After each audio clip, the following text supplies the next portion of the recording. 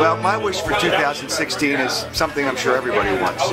I want to have a winning team that actually has a real chance to win a championship. Now, you could say the Eagles could be that team, the Flyers in a few years could be that team, but the biggest wish is to have the 76ers actually join the NBA and be a real NBA team that doesn't lose by 20 every night. And if they were in the Final Four, I actually wish that they could actually win the championship against the college team. And if it was a best of five, I hope they wouldn't get swept. So that's my wish for 2016. But again, I'm sure everybody shares the same thing. We're all tired of losing. Happy New Year.